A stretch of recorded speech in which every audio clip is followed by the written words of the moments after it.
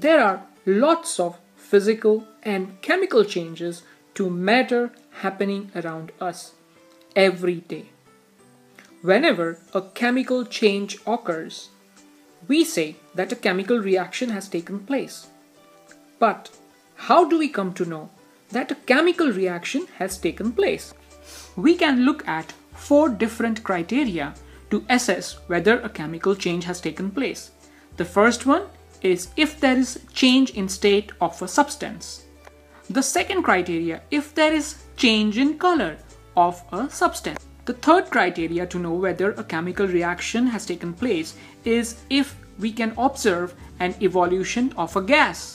The fourth thing to observe is if there is a change in temperature.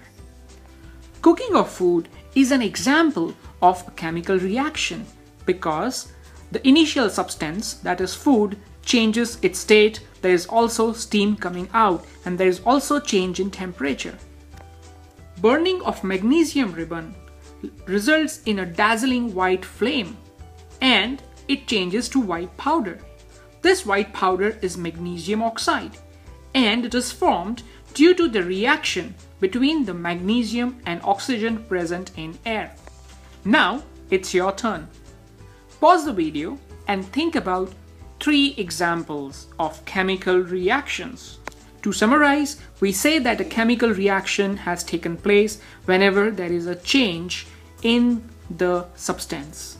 That could be change in color, change in state, evolution of a gas, or the change in temperature.